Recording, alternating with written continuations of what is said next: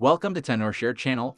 With the development of the times, GPS technology has been widely used in our daily life.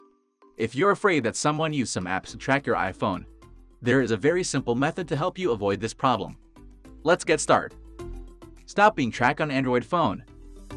First, go to Google Play Store search fake GPS location app and install it.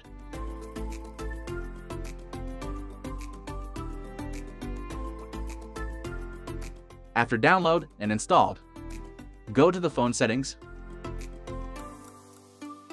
then find location and make sure location services is turned on.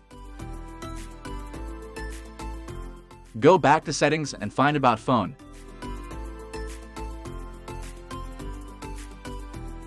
Choose software information. Find build number. Tap it 7 times to turn on the developer options.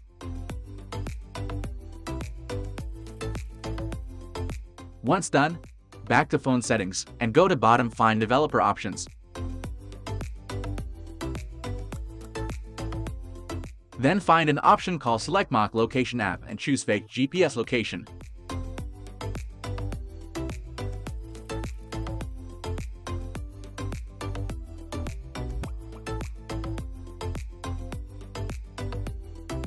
Once finished, open Fake GPS Location app and tap Continue.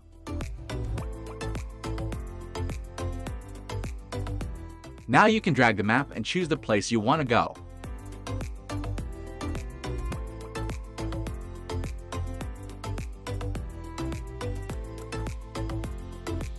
This time we choose Tokyo.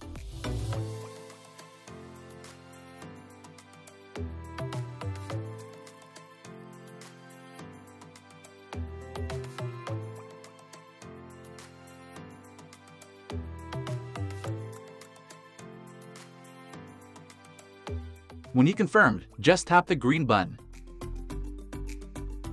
And you will see the mock location is on.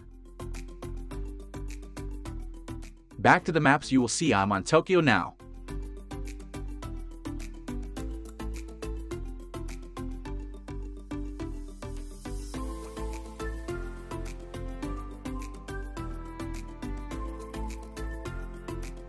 If you want it back to the actual location, just press the pause button.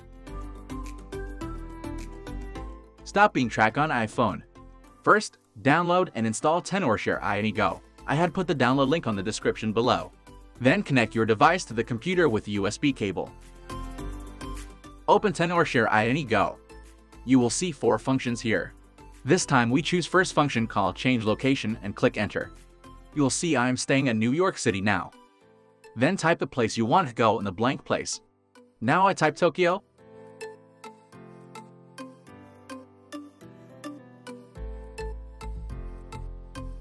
When you were confirmed, tap Start to modify.